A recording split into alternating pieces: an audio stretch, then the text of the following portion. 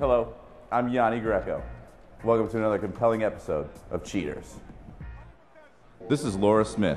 She's an executive chef and an avid Cavs fan. She is worried her boyfriend might be eating from another pantry. I've been dating Jim for about two years now.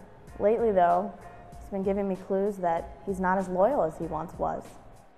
Meet the perpetrator, Jim Pierce. He's already a panhandling freeloader from New England and now is suspected of being a big time traitor. Day one, we watch as a suspect secretly exits through a window for no apparent reason. We tail this scumbag to see that he is indeed unfaithful. We were rolling as he changes from his Cavs jersey to a hated rival's gear when he thinks no one is looking. I'm hurt. Hurt because I don't know whose side he's on. I'm really hoping that, you know, it's another woman or something. If he's rooting against the Cavs, I don't know what I'm going to do. Day two brings more conniving behavior from this Cleveland sports hating snake.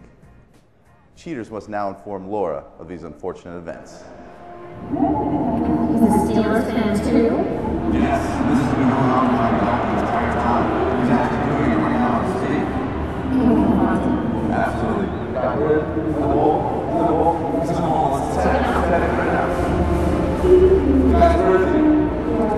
This is the bowl. Is he is he in or out?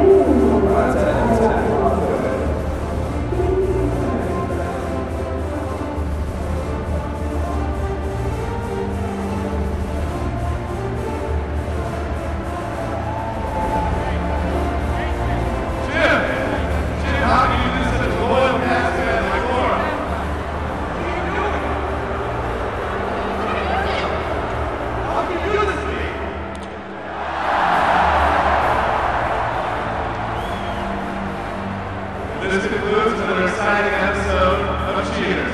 Let's go, Cavs!